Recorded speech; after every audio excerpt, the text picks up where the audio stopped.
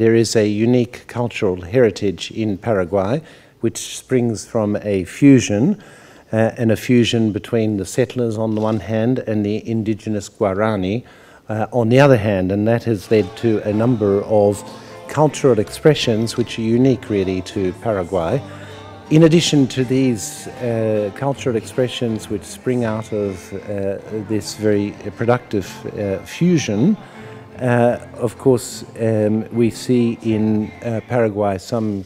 uh, quite exceptional achievements in the area of technology as well. Quisiera resaltar que el Paraguay cuenta con un gran potencial para el desarrollo de la economía naranja basada en las industrias creativas y en la tecnología de la información.